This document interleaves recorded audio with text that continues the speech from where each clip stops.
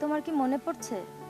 Study ট্যুরে এসে আমরা দুজন ঠিক এখানে অনেকক্ষণ বসেছিলাম। তুমি এখানে কেন এসছো? তুমি আসতে বাধ্য করেছ তাই এসেছি। তুমি আমাকে একা রেখে কেন পালিয়ে এসেছ এখানে? পালিয়ে আসিনি চলে আসতে বাধ্য হয়েছি। কি অপরাধ ছিল আমার? তুমি কোনো অপরাধ করনি। তুমি খুব ভালো একটা মেয়ে শিখা। আমার জীবনের সবচেয়ে ভালো এবং কাছের বন্ধু। বন্ধু শুধুই বন্ধু। তুমি বড় হাস্যকর কথা বলো। তুমি যে মম নামের মেয়েটির সঙ্গে মিশছো ওকেও কি বন্ধু বলে একই স্বপ্ন দেখাচ্ছ? আমি কাউকে স্বপ্ন দেখি না।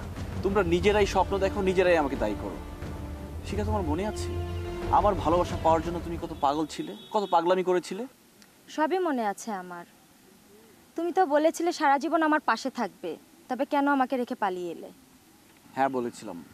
তোমার পাগলামি আমাকে সেই ধরনের কথা বলতে বাধ্য করেছিল। কিন্তু আমি এখন সব ভুলে যেতে চাই। শিখা, তুমি যদি আমাকে তোমার বন্ধু ভাবো, তাহলে প্লিজ সব ভুলে যাও। ঠিক আছে। ভালোবাসার মানুষ হিসেবে নাই বা পেলাম। তবে আমার বন্ধু হয়ে আমার পাশে থেকো।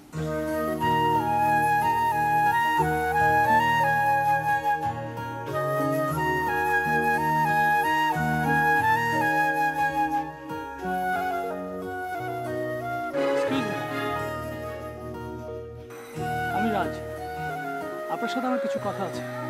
বলুন কি কথা? শুনেছি নয়ন হাসান নামে একজন আপনার সাথে মাঝে মাঝে দেখা করতে আসে।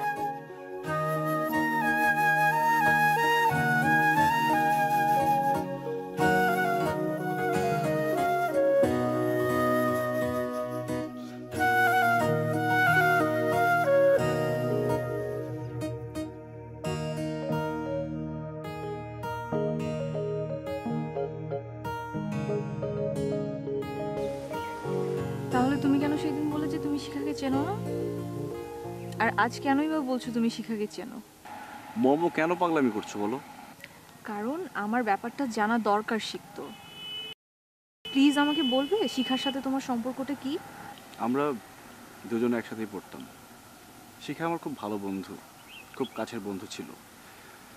ও আমাকে ভালোবাসতো বাট আমি ওকে ভালোবাসতাম না। আমি শুধু বন্ধু হিসেবে দেখতাম।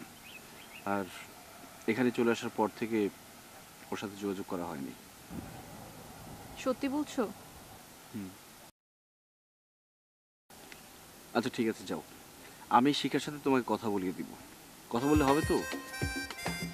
এখন একটু হাসো। মুখটা এরকম করে রেখেছো কেন?